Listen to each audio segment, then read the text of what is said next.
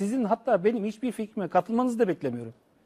Açık söylüyorum. mümkün benim böyle, değil ki katılayım Hayır ben yani. sizin için konuşmuyorum zaten. Mümkün değil. Ben dinleyiciler için zahmet konuşuyorum. etmeyin. Yani zaten zaman zaman bazı noktalarda ben sizinle aynı noktada olursam kendimden şüphe ederim. Hiç şüphe duymayın siz. Celal Bey. Tamam. Nokta. Kaldığımız yerden devam edelim. Çünkü yeni bir şey öğrenmek için buradayız sonuçta. Şimdi tartışma yürütürken dünyanın en iyi sistemine sahipmiş de buradan sapıyormuşuz gibi. Tekrar Burada ediyorsunuz.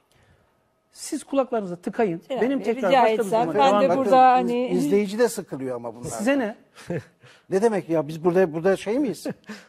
Buraya niye geldik? Benim hangi cümleyi kullanacağımı siz mi karar vereceksiniz? Efendim siz Benim karar hangi- vereceksiniz Ben ama müsaadenizi bize de isteyeceğim. saygı Böyle duyun. giderse yapmayın. düşünüyorsunuz. Dayatma diye düşünüyorsunuz. Benim hangi cümleyi, hangi fikri beyan etmeme siz mi karar Ne yaparsınız? Ben Döver şey misiniz? yapmam.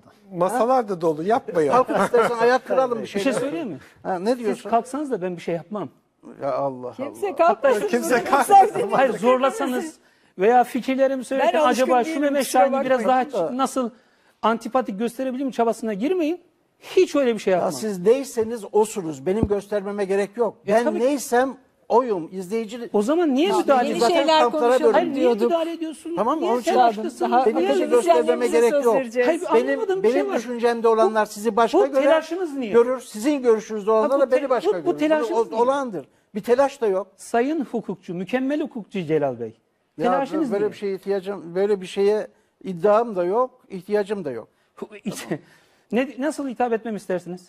Ya Celal abi dersiniz Çok olur uzamadı biter. mı bu muhabbet? Ben, size şöyle birazcık daha sadece. konuya dönsek Celal diyorum. Bey. E, ne, ne derseniz deyin. Say- Celal Sayın da Ülgen, diyebilirsiniz. Sayın Ülgen. Yani, ha. En uygunun bu olduğunu düşünüyorum.